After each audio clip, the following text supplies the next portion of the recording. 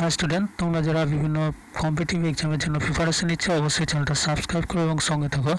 বিশেষ করে রেলের এনটিপিসি পিএসসি ক্লার্কশিপ ও আইসিটিএস যে সমস্ত পরীক্ষা হচ্ছে স্টেট লেভেলের সে সমস্ত পরীক্ষায় জেনারেল সায়েন্স থেকে বেশিরভাগ প্রশ্ন হয়। সুতরাং এসব শুরু করি, বাকি প্রশ্নগুলো আমরা ভিডিওতে দেখি। ডাক্তারি থার্মোমিটার সর্বোচ্চ কত উষ্ণতা মাপা চাই এখানে অ্যান্সার হবে এ আটানব্বই ডিগ্রি ফারেনহাইট ডাক্তারি থার্মোমিটার সর্বোচ্চ মাপা হয়।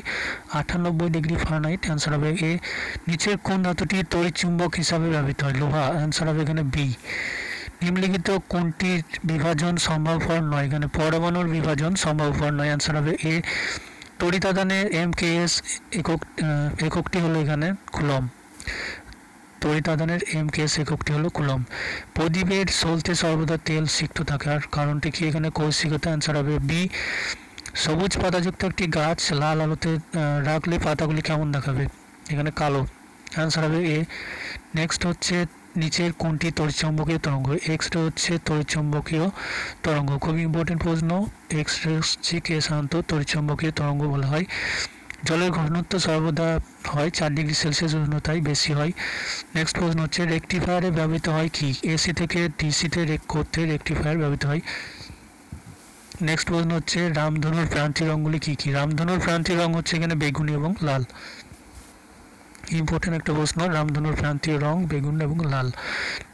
পাঁচশো কুড়ি নম্বর প্রশ্ন যদি পৃথিবী চাঁদকে এ বল দ্বারা আকর্ষণ করে, তাহলে চাঁদ পৃথিবীকে এফ এর সমান বল দ্বারা আকর্ষণ করবে। অ্যান্সার হবে এখানে বি নেক্সট প্রশ্ন হচ্ছে, কোনটি তৃতীয় শ্রেণির লিভার ছিপ হচ্ছে এখানে তৃতীয় শ্রেণির লিভার অ্যান্সার হবে ডি এক হর্স পাওয়ার সমান কত ওয়াট খুব ইম্পর্টেন্ট প্রশ্ন, সাতশো ছিচল্লিশ ওয়াট ঈশ্বর কণার আসল নাম হচ্ছে হিগস বোসন কণা হিগস বোসন কণা। শুধু বোসন কণা বললে ভুল হবে।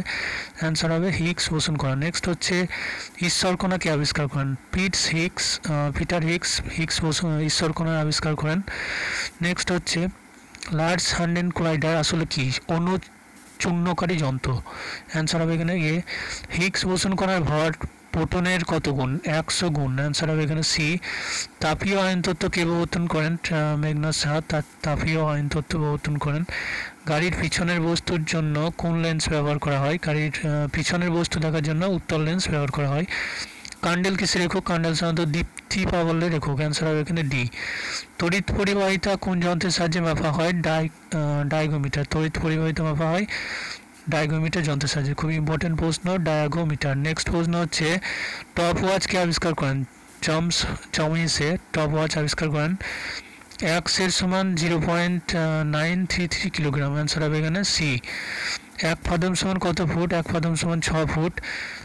কোন এককের সাহায্যে ঘোড়ার উচ্চতা পরিমাপ করা হয়? ফুট এককের সাহায্যে ঘোড়ার উচ্চতা পরিমাপ করা হয়। কোন শ্রেণির লিভারের যান্ত্রিক সুবিধা এক একের কম এবং একের বেশি তিন প্রকার হয়? প্রথম অ্যান্সার হবে এ নিচের কোন মাধ্যমে শব্দের বেগ সব থেকে বেশি? কাঁচের মাধ্যমে শব্দের বেগ সাধারণত বেশি হয়। আহ, তড়িৎচালক বল পরিমাপ করা হয় কোন যন্ত্রের সাহায্যে? পোটান এখানে অ্যান্সার হবে এ পোটেনসিওমিটার তড়িৎচালক বল মাপা হয় পোটেনসিওমিটার যন্ত্রের সাহায্যে। গ্রিক অক্ষর নিউ দিয়ে নিচের কোনটি প্রকাশ করা হয়? নিউ সাধারণত কম্পাঙ্ক প্রকাশ করা হয়। আঠেরো গ্রাম জলের মধ্যে জলের অণুর সংখ্যা কত? সাধারণত six point zero two three into ten the power twenty three six point zero two three into ten the power twenty three answer হবে সি কোন লেন্স দ্বারা প্রতিষ্ঠিত আলোকরশ্মি অভিসারী হয়? উত্তর লেন্স দ্বারা প্রতিষ্ঠিত আলোকরশ্মি অভিসারী হয়। ডেসিবেল কি? ডেসিবেল হচ্ছে শব্দের তীব্রতা লেভেল অ্যান্সার হবে এখানে।